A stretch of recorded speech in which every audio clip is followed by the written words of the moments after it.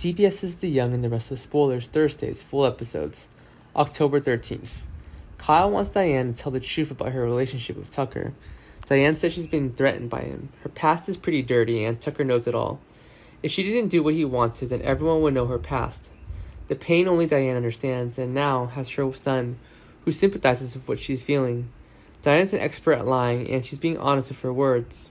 Kyle should be careful. Sometimes she's even willing to her son to achieve her goals. Taking advantage of the pity of others for one's own benefit is an unforgivable sin. Kyle said that he will protect his mother, whoever the enemy is, and they'll have to face the Abbott family. Phyllis wanted to ask Kyle what he t- when he talked to Diane about, and what did he say? Phyllis is always concerned about her enemies, but if she's being threatened by Tucker, it's unforgivable. Phyllis will help Diane defeat Tucker and restore peace to Genoa. A man isn't allowed to threaten harm in beautiful young women.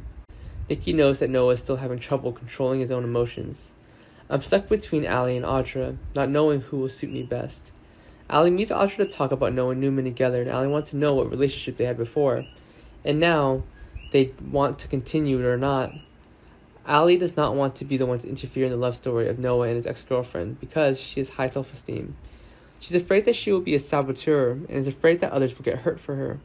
Noah loves Allie, and there must be a reason why he abandoned Audra to return to Genoa, which means he has stopped loving her before. Which Audra voluntarily came here to ask for forgiveness or a chance to return and hers, hers alone. It's not Allie's fault, it's her fault for being so pretty and making Noah fall in love, and that's more than enough.